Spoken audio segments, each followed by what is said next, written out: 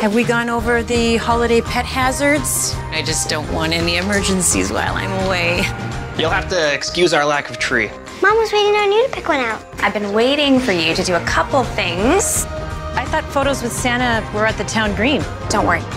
Zachary takes a ski trip this time each year. So is Zachary your boyfriend? Sierra and you might not want to get into it. Oh, Marilee! Zachary. I thought I had put Zachary behind me. Why did you break up with him again? Oh my gosh. Somebody left them at the fire station this morning. You're gonna need a bigger box. Got nine kittens. We should find them homes.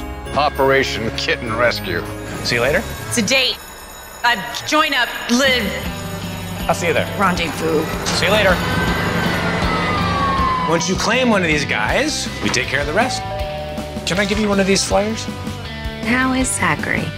Are you implying that there's more to this pet adoption than pet adoption? Hey!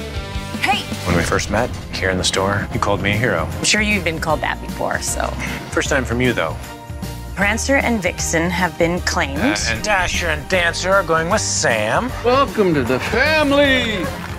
Sam's retirement gift doubles as a billboard. He asked me to be chief. You're perfect for it. Why sign up for more drama when I'm good? Wow. Been here before. When you'd bring up the future, he would say, Why mess with a good thing? Have I not told you about the Christmas tree test? If it checks all the boxes. If it checks all of the boxes, you found the one. What are the chances after all of these years we're back in the exact same spot? I think she doesn't want what happened before to happen again. You told me what you needed, and I froze. What's going on? Letting you slip away was the biggest mistake of my life. We're inseparable.